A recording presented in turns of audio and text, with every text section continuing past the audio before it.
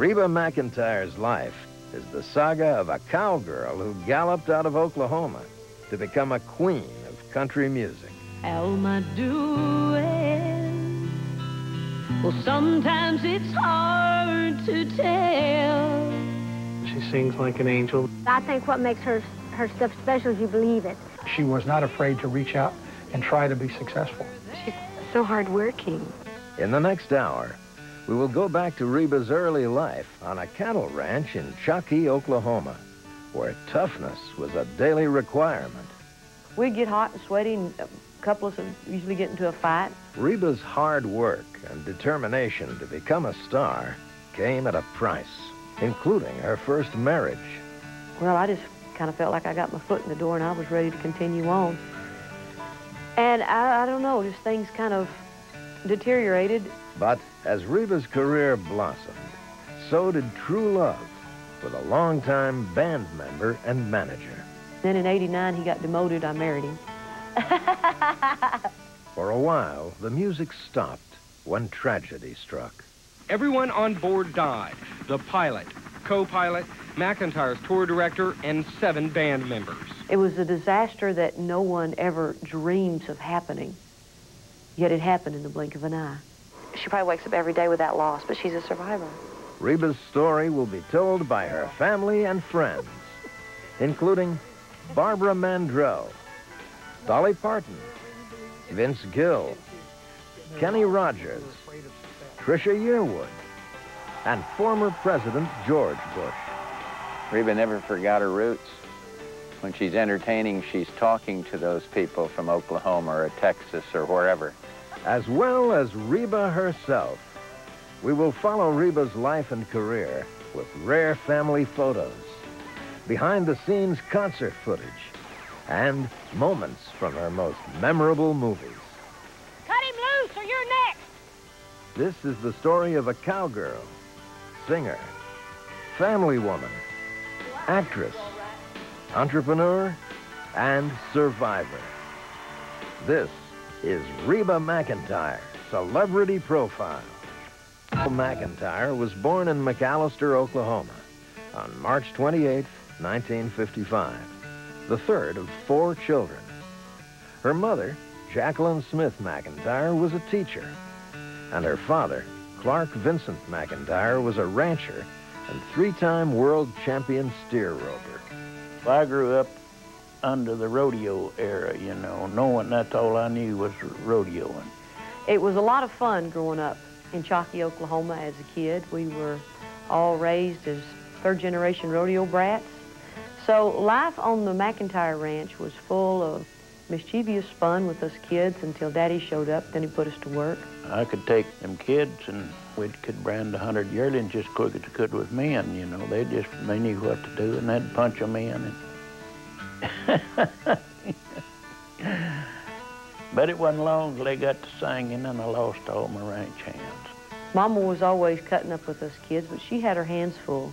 It's hard for me to imagine how she raised four kids with a Wringer washing machine and a clothesline, no microwave, and no, none of the uh, conveniences that we have today.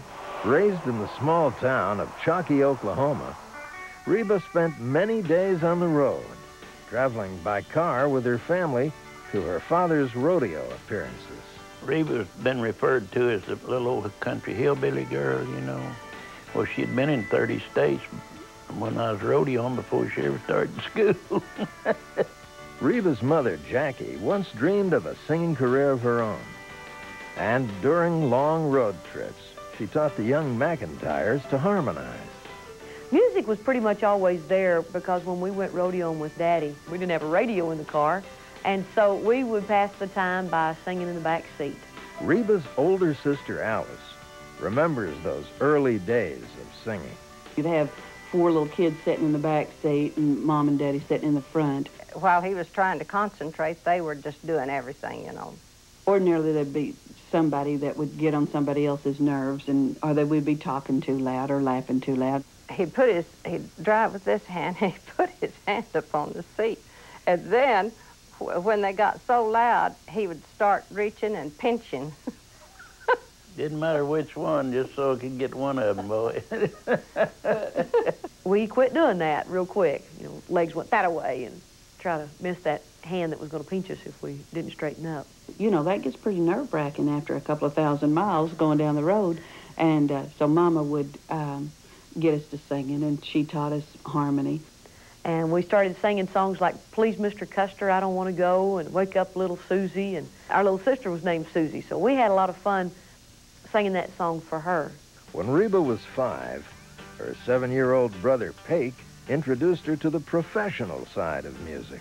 We were in Cheyenne, Wyoming at the Frontier Hotel, and uh, back then we didn't have televisions and telephones in our rooms, so all the cowboys and their wives and family congregated down in the lobby of the hotel, and they'd get to telling stories and visiting. And, and so one of the cowboys got Pake to get up and sing a song. Pake sang You Ain't Nothing But a Hound Dog. And a cowboy gave him a quarter. So I saw what was going on, I said, well, Pake, come here. Got him over to the side, and I said, um, help me think up a song to sing. So I got back out there, and I sang Jesus Loves Me. I got a nickel. Go figure that one out. By the time she was in junior high school, Reba was performing regularly with her brother Pake and younger sister Susie as the Singing McEntires. Reba's former basketball coach, Paul Davis, remembers her amazing determination. She did not want to get beat doing anything. And my opinion is that's why she's where she's at now. And if they were having a contest, I don't care what it was, she was up there doing her best to win it and all of her brothers and sisters were doing the same thing. They entered. The, the McEntires was really, really competitive because they grew up in that rodeo world where you had to be competitive if you wanted to win.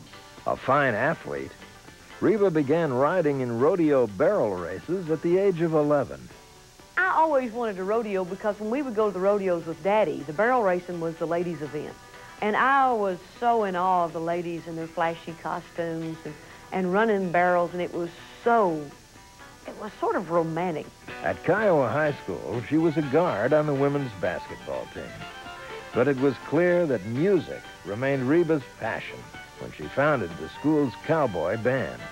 After graduating from high school in 1973, Reba used the money she made competing at rodeos and tending cattle to help pay for her education at Southeastern Oklahoma State University in Durant, Oklahoma. Her future was still undecided. Would she follow in the footsteps of her grandfather and father into the world of rodeo? Or would she teach school like her grandmother and mother before her? When we return, Reba makes her break from the Singing McEntires. He said, I don't think I could take all three, but I'll take Reba. And later. This is from me and Mama. Reba McEntire's humble beginnings as a rodeo rider's daughter in Chockie, Oklahoma, made her tough enough to go after what she wanted. But by 1974, she still hadn't decided whether to be a teacher or a rodeo performer.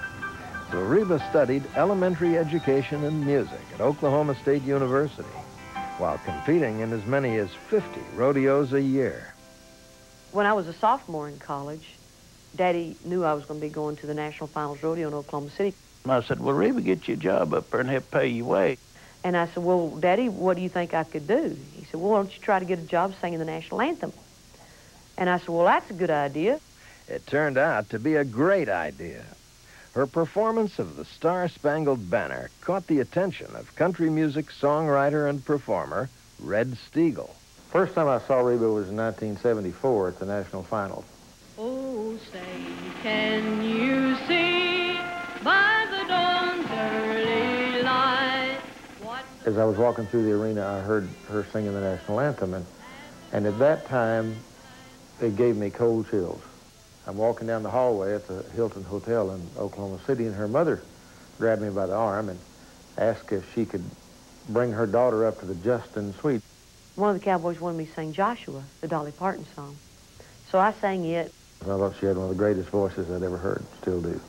And so after a while, Mama got around and asked Red if there was anything that he could do for all three of us kids to get in the music business. And he said, well, Jackie, honesty, honestly, I'm really doing all I can to get in the business myself. I'm, I'm having a hard time. I'm struggling. But Steagall didn't forget about the little girl with the big voice. In January of 75, Red called Mama at home and he said, Jackie, I've been thinking about this deal you proposed to me. He said, I don't think I could take all three, but I'll take Reba. What Red and I figured was that we could get Reba in the door and then maybe get the others later. So Mama sat all three of us down and told them what the deal was. And Pake was rodeoing and uh, very heavy into that. And he said, let Reba go on. Good luck. And Susie was still in high school. And she said, yeah, go for it. I knew that Reba had something special. I grew up wishing that I could do something like that. So at the age of 19, Reba departed from the singing McEntires and headed to the capital of country music as a solo artist. But success did not come overnight. Mom and I went down to Nashville, cut a demonstration tape, and it was a couple of songs that Red and uh, some other folks had written. And so we went on back home. Red said, don't call me, I'll call you, pretty much. Back in Oklahoma, it was almost a year later when a record label executive changed her life. Polygram Mercury said, you can sign up one girl singer this year. And he looked at the two tapes, and he handed them mine. And I've asked him since, I said, Glenn, who was the other girl? He said, I don't know, I don't remember. I just wonder where she is today and what happened to her. Reba's career and love life seemed to take off at the same time. While still rodeoing, she met a handsome cowboy who she first thought would be a good match for her sister.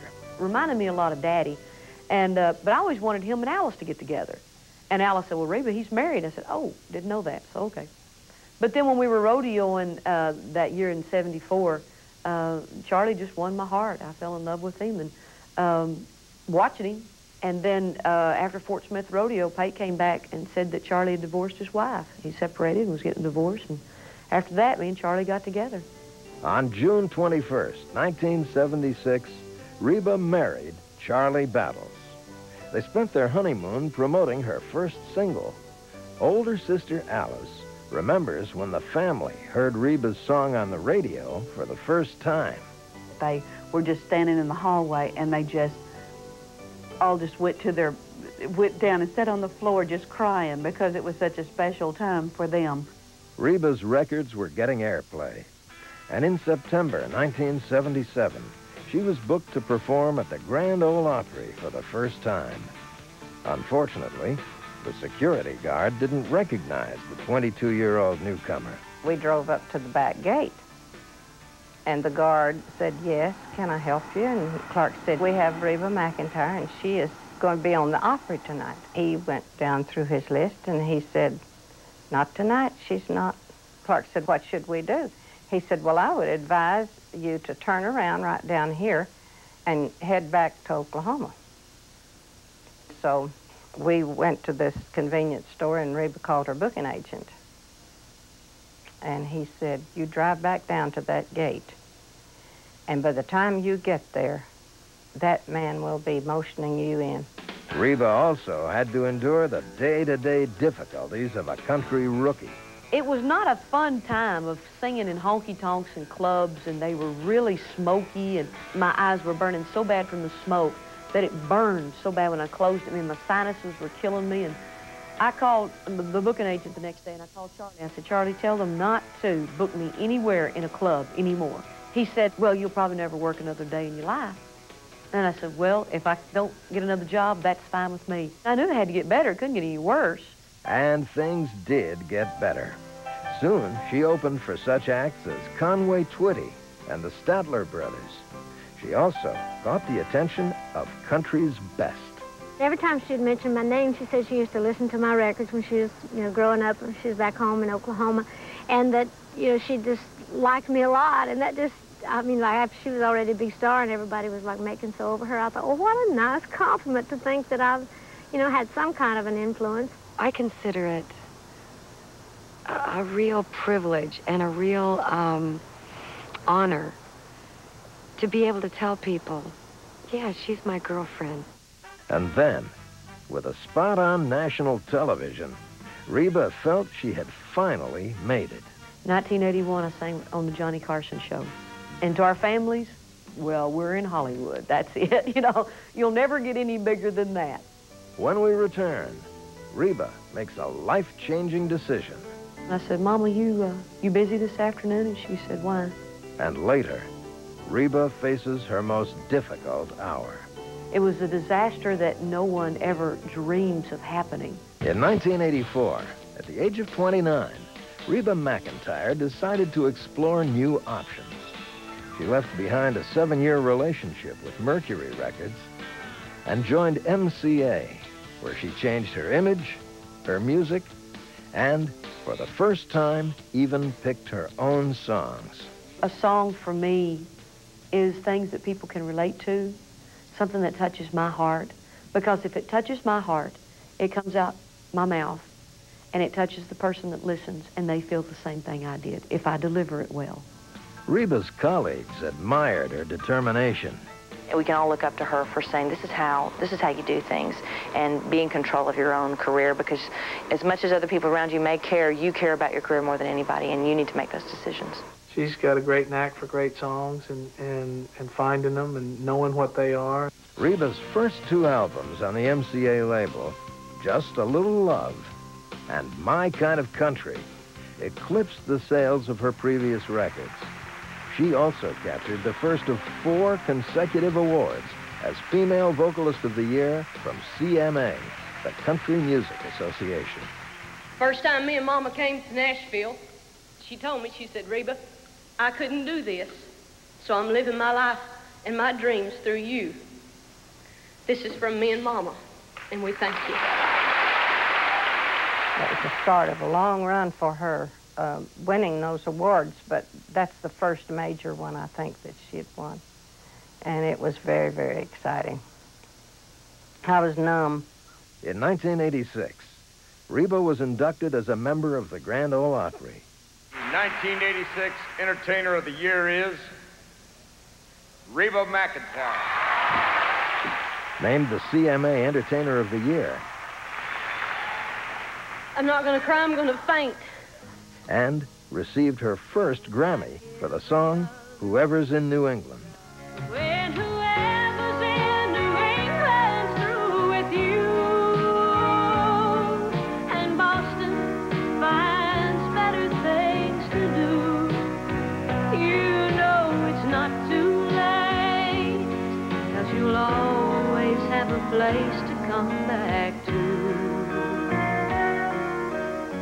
Whoever's in New England, the saga of a neglected wife, seemed to touch a nerve in an audience that had suddenly become mainstream. I think it's an extremely well-written song. It was extremely well produced, and it was a song that created a, a, whole new career for her. She sings with a lot of heart, a lot of emotion, a lot of soul. It's like a great actress. You know, when they make that great delivery, you believe it. Reba's fame soon spread beyond America's Southwest and eventually earned the entertainer her first gold record. Mom and Daddy always said, if you're going to do something, be the best at what you can do. Uh, you know, don't just give half of your talent, half of your work. If you're going to do something, go do it. Mom and Daddy were always there for us. And um, I think that uh, that just spills over to our work ethics. In her climb to the top, Reba had gained the support of family and fan alike. But this success took its toll on her personal life. Well, what changed between Charlie and myself, when we got married, I was 21 and he was 31. He was 10 years and 18 days older than me. And I was a little young, naive, red-headed, freckle-faced kid from Oklahoma, and he had already won three world championships in the IRA rodeoing. When we got married, it was just so much fun, and had a great time, and then I started growing up. And I started wanting more things, like a career, a little more important uh, to me. And he was ready for me to settle down after I won Female Vocalist of the Year. Well, I just kind of felt like I got my foot in the door and I was ready to continue on. And I, I don't know, just things kind of deteriorated. Reba's marriage with Charlie Battles was not working, and she decided to do something about it in the midst of another family crisis. Daddy was having triple bypass heart surgery in Tulsa. And so I went up, visited them, and, and uh, Charlie went back to the house.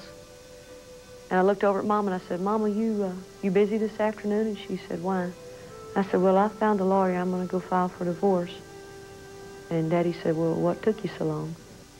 Coming up, Reba struggles to put her life back together. And she had some hard times. And later, Reba discovers a different love. He is the greatest thing that ever happened to me. By 1988, Reba McEntire had successfully become a crossover artist at the age of 33. She also decided to take control of her own career, calling on bandmate Narvel Blackstock to act as her manager and assist in the formation of Starstruck Entertainment. At the time, it was Reba's business. But we wanted to call it, Narvel wanted to call it something other than Reba's business, but, and just in case we got any more acts. We love Moonstruck. What, what are we in this business for? We're, we're struck about some, okay, we're starstruck. Located on Nashville's historic Music Row, Starstruck Entertainment, a publishing and management firm, took Reba from musician to entrepreneur.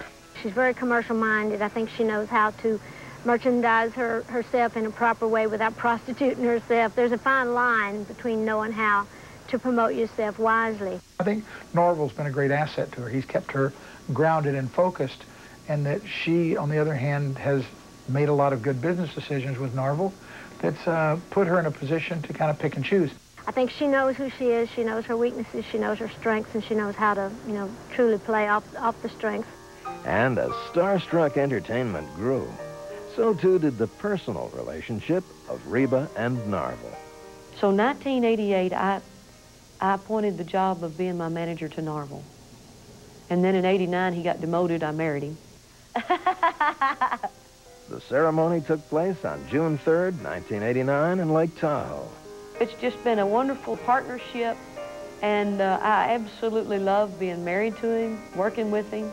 He aggravates the fire out of me sometimes, but I don't think I could live with anybody else.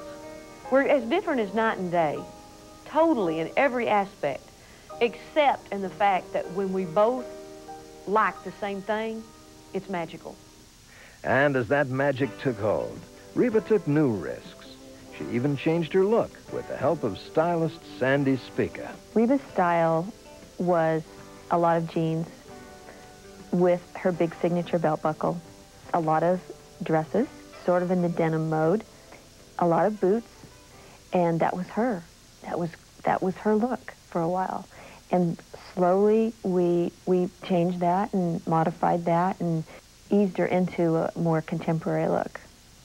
In 1990, after Reba had achieved enormous success in the music industry, she made her screen debut as a survivalist in the comic science fiction horror movie Tremors. You didn't get penetration even with the elephant gun. Good Lord. That was my first movie. And I thought, I don't like this. Lord, it was hard work. And I'm, I'm not really good at memorizing lines. I can memorize them if they're melodic or if they rhyme. But the words didn't make sense to me. And when I read them, and when I, then when I said them, they, I would rearrange them. Reba was now active in film, in recording, and on the road. And amid all this, at age 34, Reba took on her proudest project. She gave birth to a son, Shelby Blackstock, on February 23rd, 1990. I never will forget how she looked when that baby came. She was, uh, she was ecstatic. And uh, she told me, that you were right, as always. You, you told me that I, I had never lived until I'd had a child. And now I'm living. Shelby Doo? Shelby Don. Shelby Don is the sunshine of my life. He is the greatest thing that ever happened to me. I say Narvel's greatest thing because Narvel and I got married when we had Shelby, so both are the greatest things. And I thank God every day for both of them.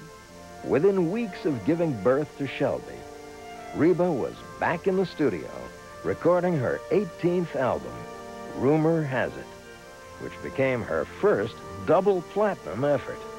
But in 1991, the music stopped. The Corporate jet hit the mountain hard, cutting a swath through the terrain, leaving debris trailing behind. Following a performance in San Diego, seven members of Reba's band, her road manager, and two pilots perished in a plane crash.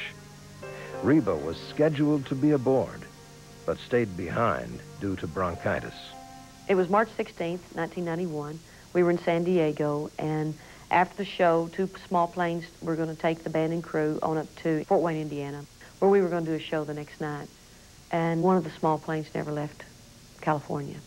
And we had been touring together um, that whole period of time, and they were my friends that perished in that plane crash as well. I knew one of the one of her band members, and um, I I remember I know how I felt, and that was I lost one person. She lost seven or eight people, so I can't imagine what she what she went through. And I know that she probably wakes up every day with that loss, but she's a survivor.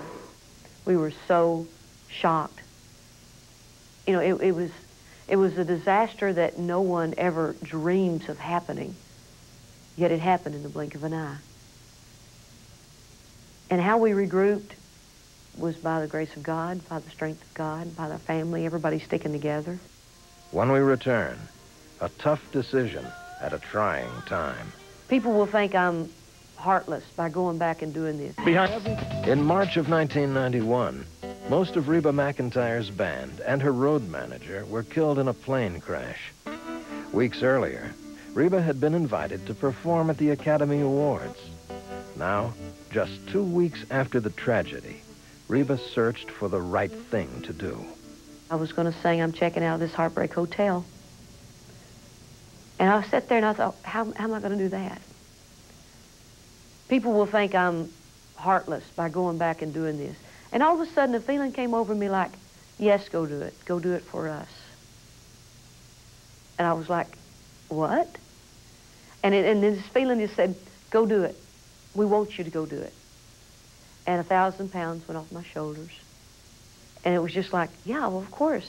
They were checking out of this Heartbreak Hotel.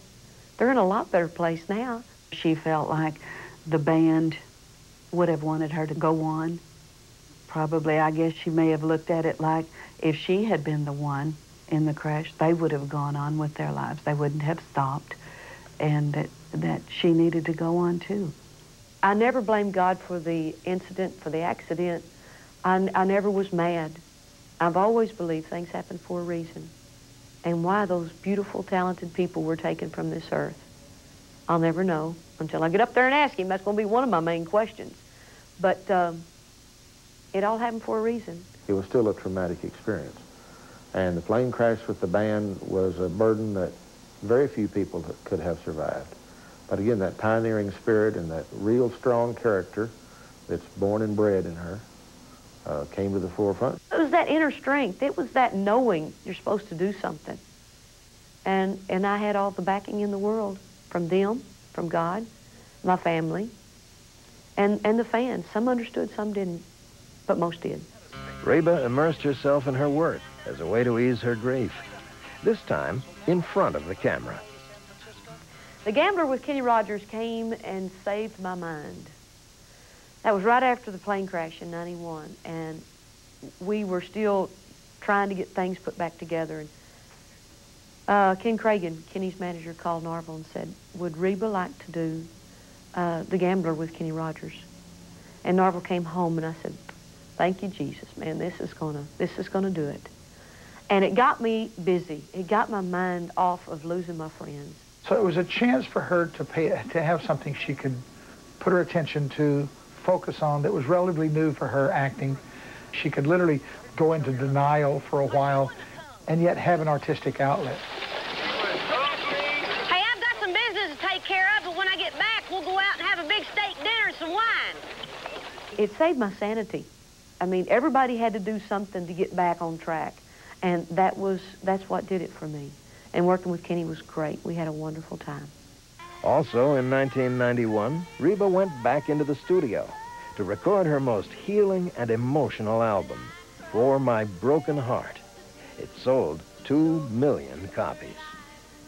And at that year's CMA Awards, Reba performed the album's title track. Lord,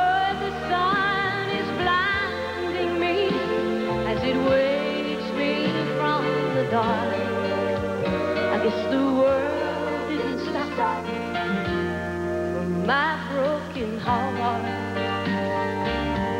Oh, I guess the world ain't gonna stop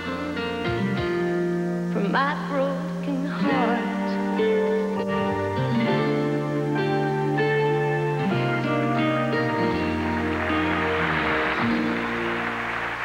During this same telecast, Reba began a friendship with some very special guests.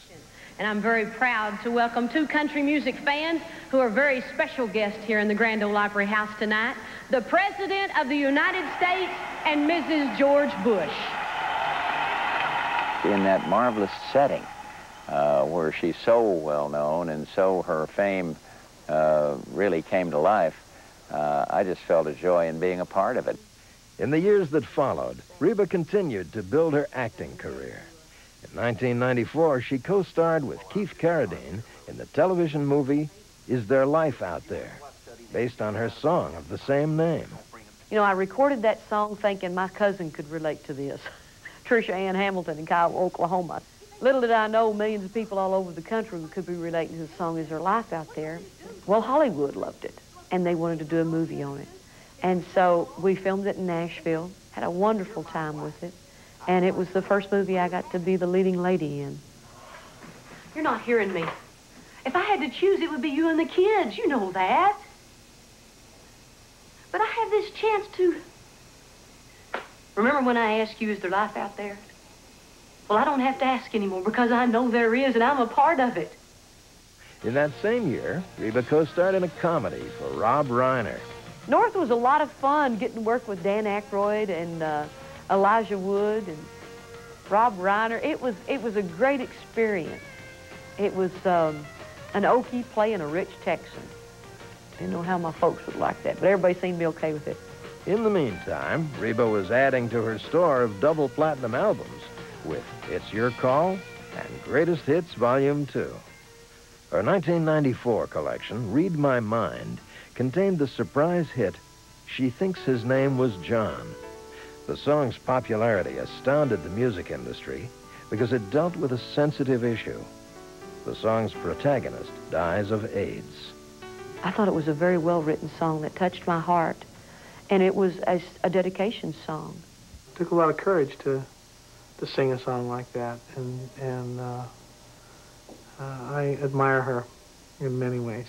And I wanted to sing it for all the folks out there who have AIDS or who, um, for young people, might, might make them think just a little bit more before they go out and be a little, little, live a little dangerously. You know, things can happen one time after just one time, and you'll regret it for the rest of your life. In August 1994, the Country Music Association nominated Reba for awards in six categories a record for a female performer. Reba performed at the CMA Awards with Linda Davis, the duet Does He Love You? The song also brought Reba her second Grammy. But it took a TV role in the 1995 miniseries Buffalo Girls to bring Reba face to face with a lifelong hero. I got to play Annie Oakley, and I've always been a huge fan of Annie Oakley.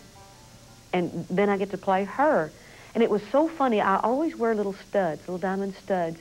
And on the movie, they were saying what Annie Oakley would wear. And Sandi Spika, my stylist, was with me on the movie, and she said, well, I guess you want her to change her earrings. And said, no, believe it or not, Annie Oakley, that's the only earrings she ever wore. So it was real coincidental, very strange. Coming up, a health problem hits close to home, and Reba responds. Walking around and seeing the families be with their children. For Reba McEntire had achieved mainstream success. Uh, sir, I just need one thing. Sorry, we're closed. But this is Reba McEntire. See? Yeah, right. Show him, Reba. The award-winning singer soon became a best-selling author with her autobiography, Reba, My Story. In her personal life, Reba continued to find happiness with husband Narvel, their son Shelby, as well as Narvel's children from his first marriage. You know, to have Sean and Chelsea and Brandon and Chastity, my, my stepchildren and step-granddaughter, that's wonderful. We all get along very well. I told Chastity the other day, I said, I guess it wasn't meant to be for me to have another child after Shelby. And she said, well, we're there for you. And Reba was there for a new generation of McEntires who themselves aspired to be entertainers. including nieces Autumn and Garrett. She's my hero. She is definitely my hero. She always has been. I view her as somebody that I look up to, and that's somebody I want to be like in the music business. She not only showed me that you can come from a small town with rural background and really not know that much about this huge world, but you can go out there and you can make it, and you can also own it. She's just Aunt Reba. and She's really cool. Another niece, Haley, also touched Reba's heart. She was born with mental and physical disabilities. Reba saw a need and created an answer in the Reba Ranch House. Reba said, Alice, what do you think about doing a, a, a place like the Ronald McDonald House to help the people of southeastern Oklahoma and uh, northeast Texas? And I said, Reba, I think it'd be great. And when we needed that help with Haley, people like Reba were there, people who cared, people who needed, who knew that we needed support and backup. And Reba's doing that for other families. Reba started by helping a family member and continued to use her celebrity to support others. The things that really make me feel the best about my career are the things like getting to sing What If for the Salvation Army and kick off their kettle drive. It's, it's when you can give back. Bob Hope told me years ago, he said the fun part about this business is when you can help others. And Reba has helped many. The Children's Medical Research Center in Oklahoma City, the hospital there, is very near and dear to my heart. Uh, like I said earlier, go walking around and seeing the families be with their children. And them knowing sometimes it could be their last visit with them or their last month with them. And they still have a smile on their face to make their children's last days as comfortable and happy as possible. She's a good person, gives a lot to others, wonderful family person, and friend, a loyal friend. Reba's life work was recognized in Anne Klein's 1998 fall advertising campaign entitled Significant Women. The campaign highlighted Reba's latest look. It shows her accomplishments uh, along with these other incredible women, which is the whole a big theme around this Anne Klein, you know, campaign. And it also shows that she, you know, she can be as contemporary and sleek and sexy as as all these other women. You know, she's a little bit of a chameleon. In her music video, If You See Him, Reba's new style sizzles to life. If you see him, tell him I wish him well. How am I doing? Well, sometimes it's hard to tell. Reba also continued to pursue her acting career, and in 1998 co-starred in the CBS miniseries Forever Love with Tim Matheson. It was a real touching movie, and it was it was great to work with her because she's so open and and real and vulnerable, just like her singing. It was very heartbreaking for me to read this script because it's about a woman who, when her child is two years old, she has a stroke, and 20 years later she wakes up realizing she's missed 20 years of her daughter's life, 20 years with her husband who she loved and adored. I think that we should just take things slowly.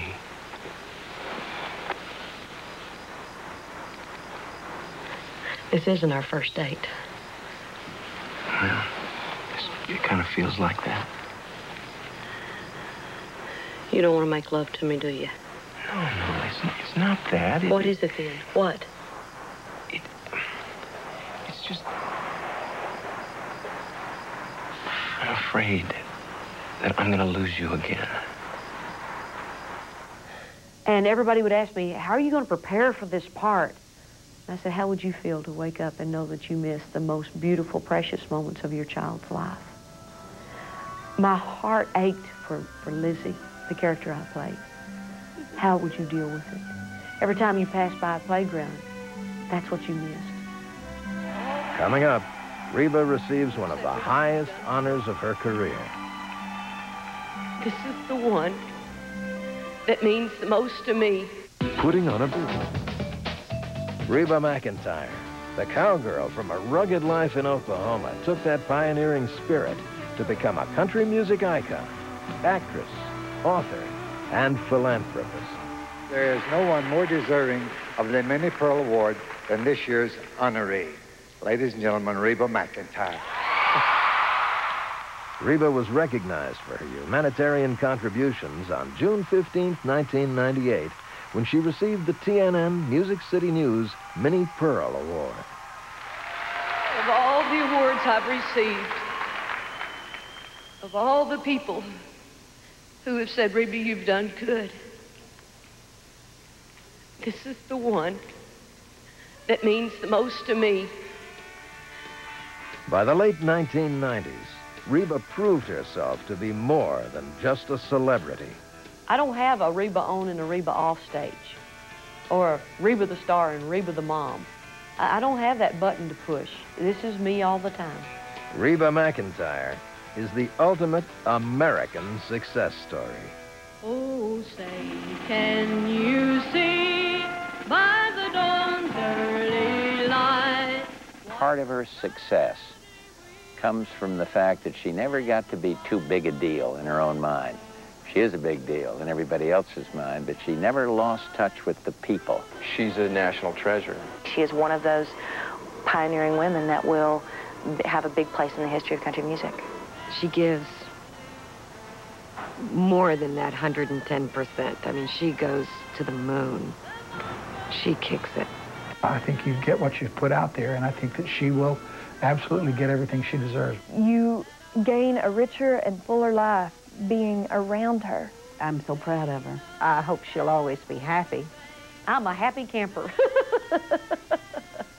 if they need to know anything about Reba, is Reba's a happy person.